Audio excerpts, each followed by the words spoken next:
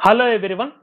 Today I am going to explain what is string builder class, what is the difference between string and string builder class, and how to create a string builder class, and what are the methods available in a string builder class, and how we can apply the string builder class for our real-time projects. So before going to discuss about string builder class, first of all we have to know the what is string. String is a immutable class. That means once we create a string object, we cannot change the string object. So now coming to the string builder class. String builder class is used to create a mutable class. Mutable class means once we create a string object, we can change the string object. So the difference between the string and string builder class is string is a immutable class. That means once we create a string object, we cannot change. But in case of string builder class, string builder class is a mutable class. That means once you create a string object, we can change the content of the string. So now I am going to show you how to create a string builder class. Just go to Eclipse and uh, select the new tab, select the class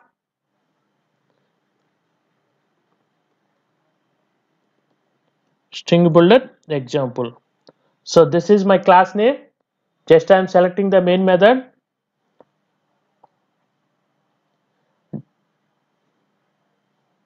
Remove the unwanted comments. First I am going to show you the how we can uh, create the string. So string str equal to Java. So basically the string is a immutable class. That means we cannot change the string object. Now i am going to uh, modify the string. String dot concatenate. So the concatenate method is used to concatenate the string to the existing string. So in this concatenation method i am passing the basics. So string basics. That means now i am going to print the string object so if you run this program, just it is printing the Java. That means once we create a string object, we cannot change the string object. So here we are trying to change the string object, but it is not changing. Why? Because the string object is the immutable class.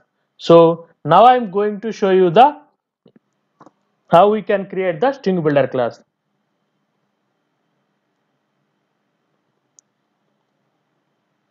String builder sb equal to new string builder.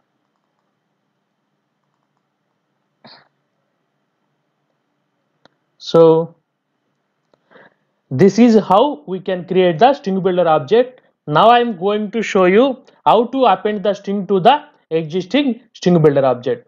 Now i am going to use the append method. So here I just use the Java. Just passing the Java. And I'm going to append one more uh, object called uh, basics. So now I'm going to print the string builder object. Now I'm going to run the program run as java application. So if you observe here the java and java basics is appended. That means string builder class is a mutable class.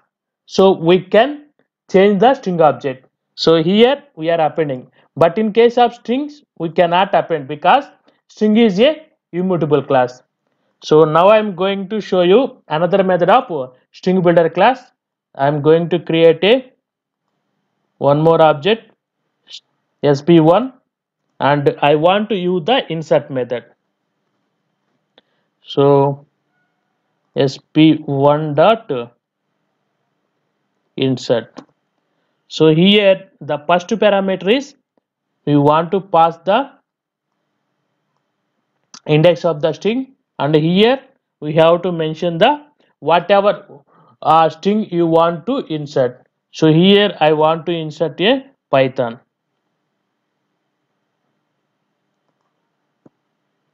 So now i'm going to print the string builder object. So now what happened is here we have to insert the java basics. So this is already existing string. I want to insert the python after this java. Now i'm going to run the program run as java application.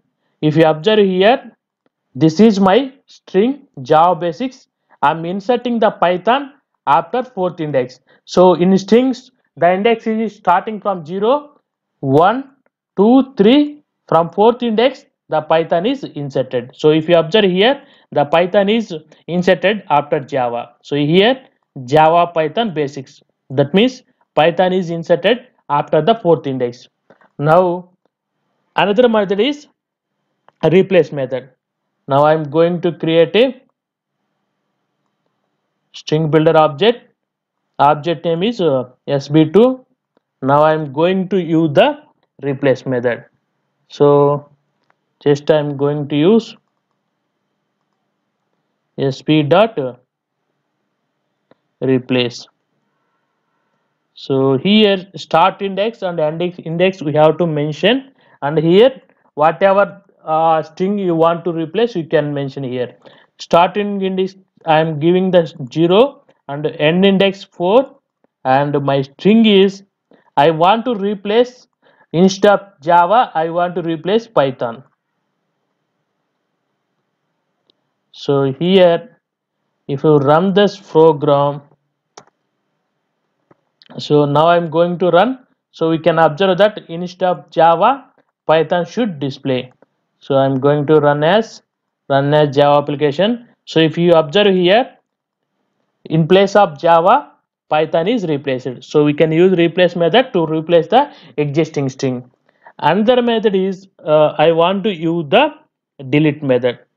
So i'm going to create one more uh, string builder object called uh, sb3 i want to use the i want to use delete method. So here we have to mention the start index and end index. So i'm going to give the start index is uh, 0 to 4 that means you should delete the java from the java basics. Now i'm going to print the sb3 now we can see the output run as java application. So if you observe here the java is deleted from java basics. Finally the basics is printing.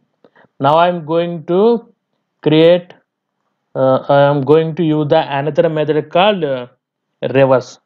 So i'm creating the one more object sb4 and i'm going to print the sb 4 dot reverse. So the reverse method is used to reverse the existing string. Suppose my string object is java basics. I want to reverse this string. So i can now i'm going to run the program run a java application. So yeah, if you observe here java basics is uh, printed as a reverse order now i am going to use the another method called capacity method. So the capacity method is used to display the capacity of the string buffer. Sorry string builder. So object is string 5 i want to print the capacity of a string builder sv5 dot capacity. So if you observe it is by default the string builder capacity is 16 characters so here we are mentioning the 11 characters. Now we can see the capacity of the string builder. So it is printing 27 initially the capacity of the string builder is 16 characters. And in addition to this we are adding the 11 character. That's why it is printing the 27 suppose if you remove this uh, string from the string builder if you print this so it will display the initial capacity of the string builder. Here we can see the 16 16 character. So now i am going to show you how to use the string builder class in our real-time example. Basically we are using the append method uh, per string uh, sorry in real-time example. So now i am going to show you how to use the string builder class in real time example. So first i am going to create the string builder class and uh, it is sql so this my object name is sql so i'm going to show you how we can in real-time projects uh, if you have a large query you can use the string builder class to append the uh, query uh, like uh, uh, as a parts of query. So now i am going to use the sorry i am going to use sql dot uh, append. So here i am writing the query like select star from emp so this is my table name. So now i am going to append the one more query. Select star from emp where emp uh, number equal to emp number equal to 101 so just i am printing sql dot append. So here I'm going to print and uh, salary equal to 20,000 so here I am printing the 20,000 so finally I am printing the string buffer object sorry string builder object SQL we can see the output. So if you observe here the query is printing. So that's why here like this we have to use the string builder class in our real-time project. So real-time project we can use the string builder class like this. So we can uh, split the large query into parts and we can append that query into the string builder class. So friends don't forget to subscribe my channel. Thanks for watching this video